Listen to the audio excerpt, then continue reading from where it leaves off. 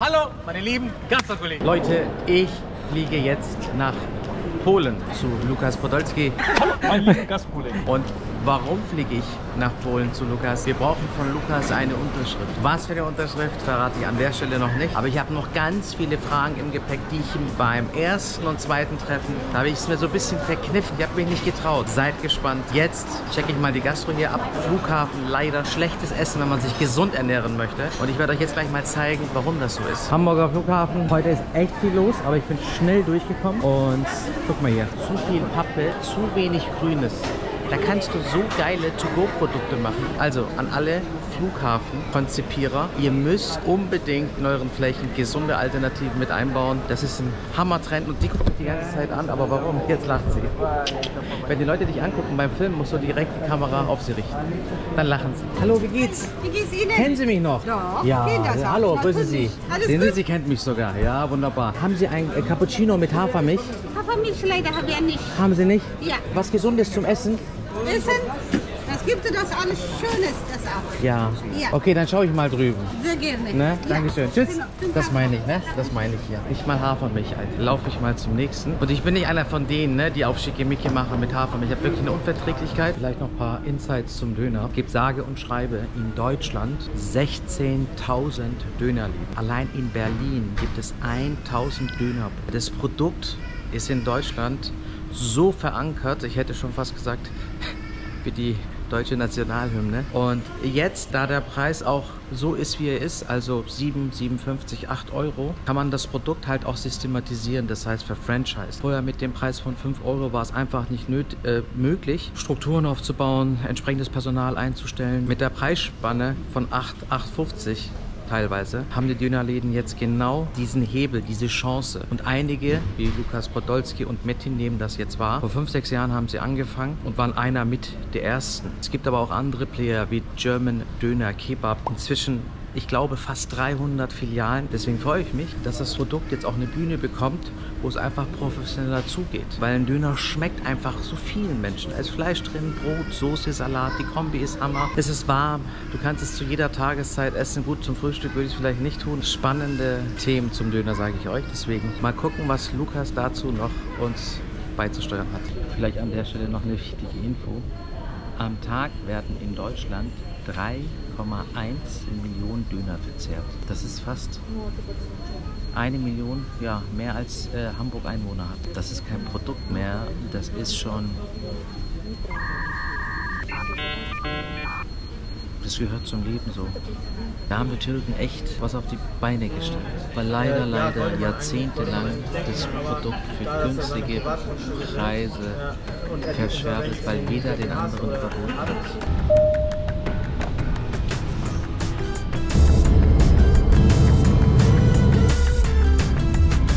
Ketowice. Ich weiß gar nicht, ob Poldi nur dort ist, weil er irgendwie dort Termine hat. Deswegen treffen wir uns dort oder ob er dort wohnt. Bin mal gespannt. Glaube ich auch Familie in Polen. Die Frau lebt in Polen. Fünf Kinder hat er, glaube ich, die Maschine. Hat da also auch viele Tore geschossen. Voll schön hier. Alles sauber aufgeräumt. Das ist unser Hotel. Hotel Monopol. Hallo. Kemal Juris, mein Name. Leute, so sieht dann die Suite aus von den richtigen Chefs. Hier bin ich bei Metin im Zimmer. Servus Metin. Servus. Danke, dass es geklappt hat in Polen. Bin durch dich zum ersten Mal in Polen, mein Freund. Kriegen wir von dir und von Polti die Unterschrift vielleicht. Aber wir sagen nicht wegen was. Würde ich gerne. Wann macht ihr in Polen auf? In zwei, drei Monaten. Nein! Boris Tomic, Chefredakteur Food Service. Da hat er aber auch gleich die richtige Zeitschrift in der Hand. Döner mit System. Und das ist der Systemmann hier. Er ist hier in der Zeit drin. Guck mal, hier ist ein Dönerladen. El Turco. Gibt es äh, viele Dönerläden in Polen? Nein. Nicht, ne? Wie viel wollt ihr hier aufmachen? Habt ihr schon so eine Zahl im Kopf? Die rücken mit Zahlen nicht raus, du, ne? Lukas ist noch nicht da. Kommt gegen 18.30 Uhr, 19 Uhr. Mir hat gerade sein Partner gesagt, ich darf nicht so viel fragen über Zahlen und Umsätze und so. Das möchten sie nicht. Ich habe gesagt, okay, verstanden. Aber ich werde ihn trotzdem ausquetschen. Warum? Ich bin der müssen wir auf die Karte gucken. Wir haben gesagt, oder wir kamen ja über Kemal zusammen. Wir machen jedes Jahr, und das schon seit 40 Jahren, wirklich, in Hamburg zur Internorga. Die Internorga ist die stärkste Messe in, der, in dem System. In dem System. Das ist der, die, die Branchenmesse. Verleihen, verleihen wir seit 40 Jahren den Food Service Preis. Das ist der Oscar für die Branche. Ja, das wollte ich ja. ja. Nehme ich gerne entgegen. Ja, soweit seid ihr noch nicht. Ihr könnt immer irgendwann, vielleicht... Das funktioniert doch mit Preisen, die werden einfach irgendwo gegeben. Aber nicht hier. Bei uns. Ja. Im Endeffekt ist es halt so, Ich habe auch manchmal so Preise bekommen, ich will jetzt nicht sagen welcher, äh, so äh, richtig gute Preise, ne, wo man sagt, boah geil, ne?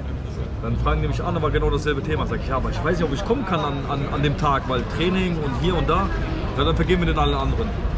kriegt halt anderer, ja? Ja. Also bei uns ist es nicht so, okay? Aber was ich sagen wollte, an dieser Gala am nächsten Tag laden wir 400 Leute ein. Das ist dann kein Event also wie so ein Kongress, sondern das ist eine Abendgala. Das ist auch Klassik, mit Smoking und Abendkleid im Grand Elysée in Hamburg. Ja, ja, kannst noch ein T-Shirt dran. Das kriegen wir auch noch hin. Ja? Ja, bleib ich auch. Lukas, die gucken alle. Wegen dir. Wegen dir, normal. Die denken, Gastauflüsterer ist endlich mein Polen. Goldi ist super authentisch und ich finde die Story, die du mir erzählt hast, wenn ich jetzt mal so nachdenke, was die Story sein könnte, authentisch ein Produkt gewählt, wo er hintersteht und nicht einfach nur gesagt, ich mache Geschäft, weil ich was aufbauen will, sondern du hast das Produkt als Junge gefeiert auf der Straße und deswegen stehst Ja, ich, ich bin halt einfach, wenn ich irgendwas anpacke, dann, dann, dann auch 100 Prozent. Also, Ich habe äh, mit Mädchen gesprochen, ihr seid ja gleich welche Weißt du, ich sag ja auch Mädchen ab und zu meine Meinung, ey, warum ist das passiert oder warum das. Ich kann mich auch sagen, ey, komm, das habe ich irgendwann aus in, in zehn Jahren und gut ist, ich mache nichts, ich gebe nur meinen Namen, äh, aber ich bin ja einer, der auch dahinter, dahinter ist. Da steht die Strategie der nächsten fünf Jahre in Deutschland für McDonalds drin. Hat er mir erzählt. Sie gehen hin, sie haben jetzt schon 60% auf Apps und digitalen Umsatz und sie gehen und bauen es noch stärker aus. Dazu zählen die Stationen, dazu zählt aber die App, die Bindung, die haben mittlerweile in deutschen Charts, Download-Charts, für die App ist McDonalds auf Platz 3. Das sage ich ja ganze Zeit auch, wenn ich. Wir müssen irgendwie was machen, was andere noch nicht haben. Du, Okay, musst, okay. du, musst, du musst nach vorne denken. alles digital, Leute.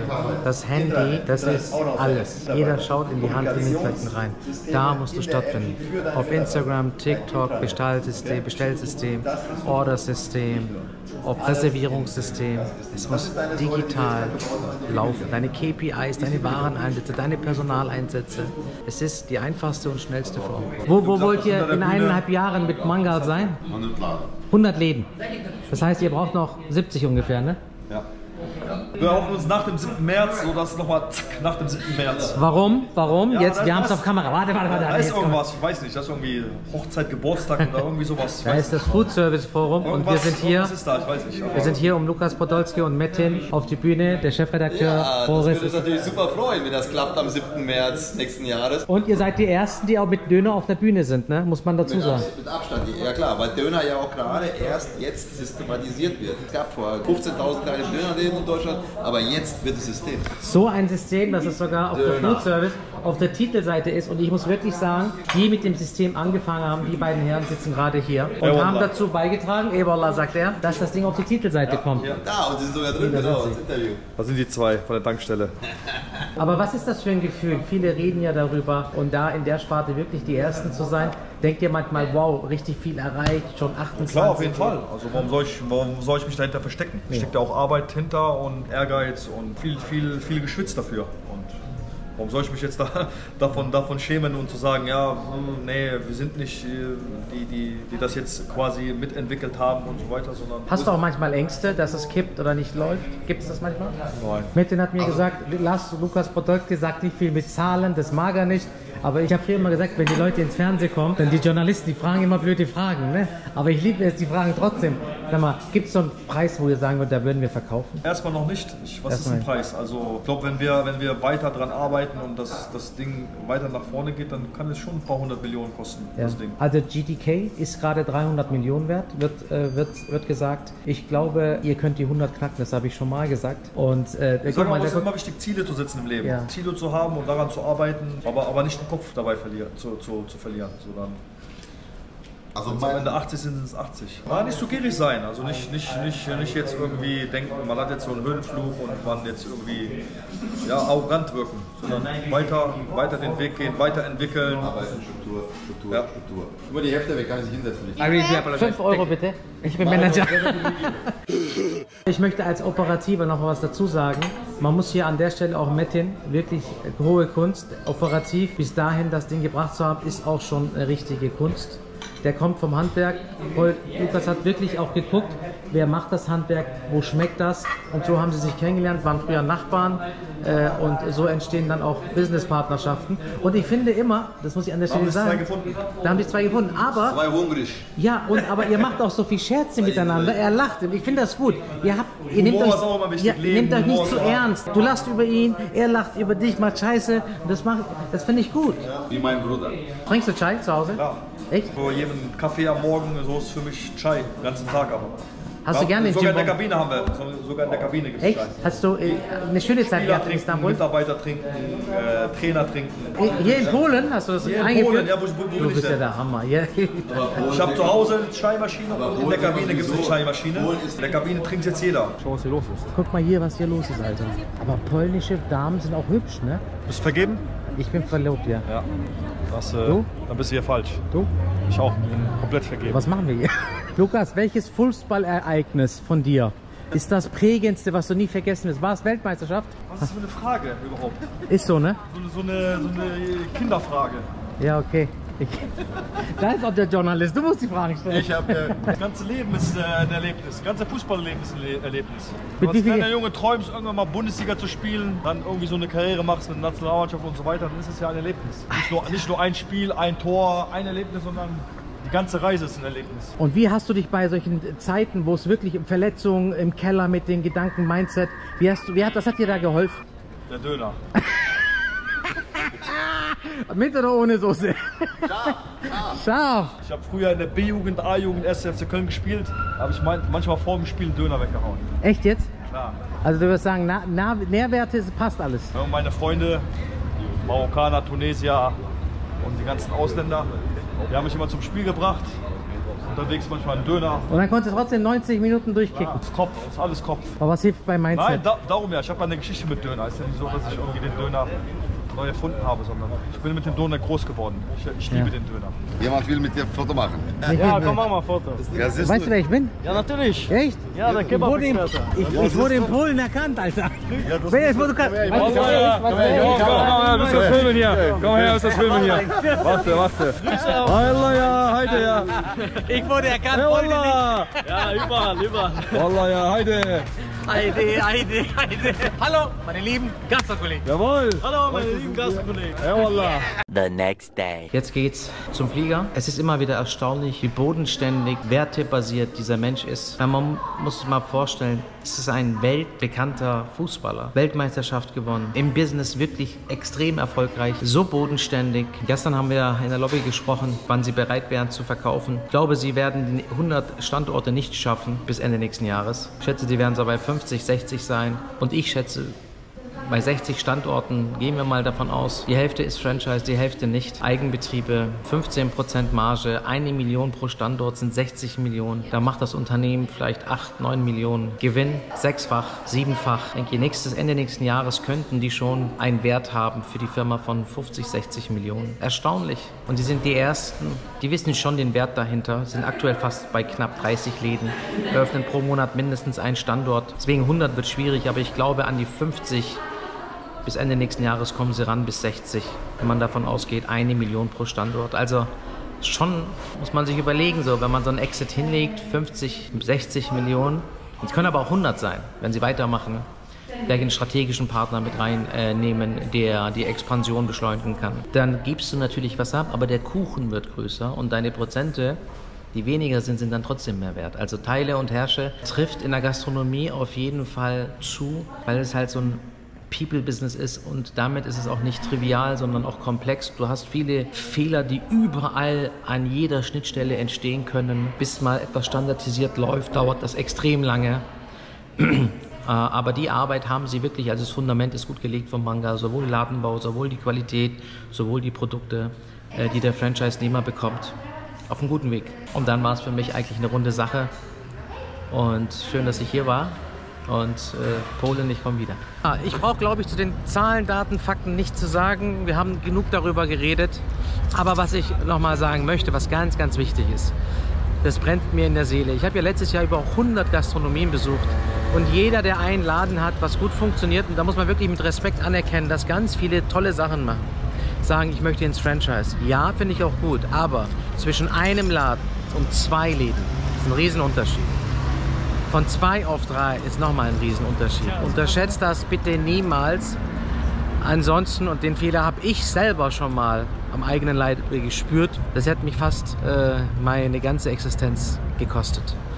Also, macht euch schlau, systematisiert den ersten Laden, erschaffe, programmiere, multipliziere nach diesem System. Und wenn der erste Laden super gut eingestellt ist und läuft, versucht ihr von diesem ersten Laden den zweiten genauso hinzukriegen. Und da werdet ihr schon merken, oha, geht nicht so einfach. Du brauchst einfach noch mehr verlässliches Personal. Du musst loslassen lernen können. Du musst auf die Schnauze fliegen mit dem zweiten Laden. Du musst Fehler machen im zweiten Laden, bis der funktioniert. Und dann zum dritten. Und wenn du drei Läden hast, und hier ganz wichtig, aus diesen drei Läden die Zahlen hast, belastbare Zahlen. Denn wenn du jemandem dein Konzept gibst, dann nimmst du dann, dann, dann, spielst du mit seiner Existenz. Du gibst ihm dein Konzept und sagst, das funktioniert. Und wenn das bei drei Läden funktioniert, die Zahlen sind stabil, dann kannst du es mit gutem Gewissen tun. Wenn das Handbuch und alle anderen Dinge, die dafür relevant sind, für so eine Multiplikation, das ist nicht einfach, nicht trivial, dann kannst du es machen. Und dann nimmst du am besten einen von den drei Läden, von deinen Mitarbeitern und gibst ihm ein Franchise, gibst ihm eine Existenz, gibst ihm eine Chance, mit dem du das dann nochmal als Pilot einstellst, denn dann wird es auch noch nicht reibungslos funktionieren. Das ist nun mal Gastro. Viele Hände im Spiel. Tut mir bitte diesen Gefallen, nicht zu leichtsinnig mit eurem Schicksal, mit eurer Existenz, aber auch ganz wichtig, nicht mit dem Schicksal der anderen Menschen umgehen. Die haben auch Kinder. Die haben schwer ihr Geld gespart und jetzt glauben sie dir und dein, dein Konzept ist noch nicht mal belastbar, weil du selber weißt, dass es vielleicht nicht belastbar ist und einfach dem Trend hinterherläufst. Franchise, Franchise.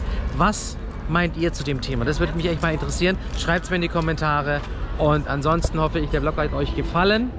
Äh, ja, checkt meinen Kanal. Es sind so viele tolle Videos. Bleibt diesem Kanal treu, wenn du was in der Gastronomie erreichen willst, wenn du dich weiterentwickeln willst. Bedanke mich und ciao.